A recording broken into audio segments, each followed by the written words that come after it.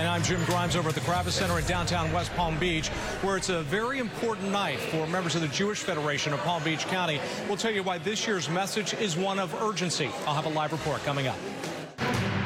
CBS 12 News starts now. Tonight, the Jewish Federation of Palm Beach County is holding a special event. It's called Celebrating Philanthropy, and it's at the Kravis Center in downtown West Palm Beach. Hundreds of celebrities, community leaders, and volunteers are arriving right now, and my co-anchor Jim Grimes is there. Jim, why is this year's event so important? Well, it's always wonderful being here at the Kravis Center. Beautiful evening uh, throughout uh, tonight that is expected for the Jewish Federation of Palm Beach County. This is a big night for them. That's because they're here to thank all of the people who are behind me. These are the men and women who have been donating their time and money to make sure that the programs that the Federation does throughout the year and now continue into the future.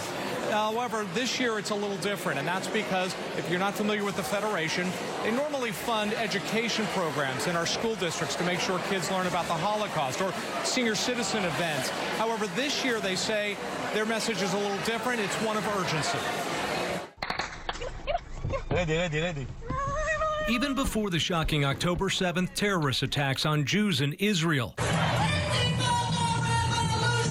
Incidents of anti Semitism in the U.S. and around the world had already been on the rise, but today videos showing mobs threatening Jews is an undeniable reality. Richard Friedman is with the Jewish Federation of Palm Beach County.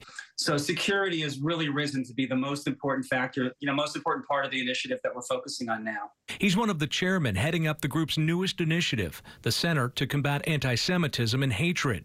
Post October 7th, security has just you know, exploded in terms of its relevance in the near term.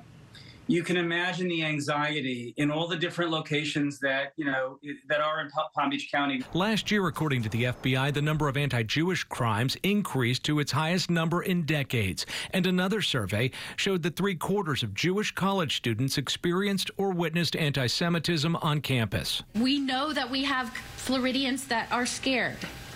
Uh, we know that there have been um, situations throughout the United States.